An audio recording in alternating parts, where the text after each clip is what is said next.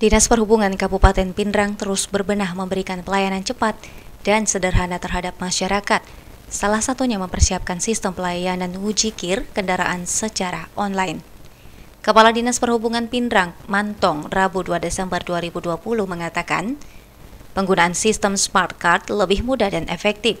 Seluruh database kendaraan tersimpan secara elektronik dan dapat dibaca melalui aplikasi cekir baik secara online maupun offline.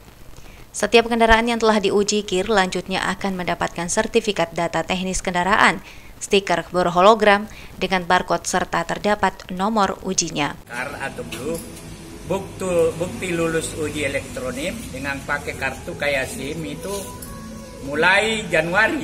Itu ada aturan dari pusat dari Dirjen Perhubungan Darat yang berhak mengeluarkan eh, blue atau smart card adalah bagi PKB Dinas Perhubungan yang sudah akreditasi. Persyaratannya itu untuk menjadi akreditasi harus kalibrasi dulu. Yang namanya kalibrasi ada tim turun dari balai provinsi itu memeriksa semua alat uji karena kami ini ah, kebetulan kami sudah ada pengadaan alat mesin untuk mencetak smart car sudah lengkap aplikasinya dan teman sudah di training oleh tim dari pusat.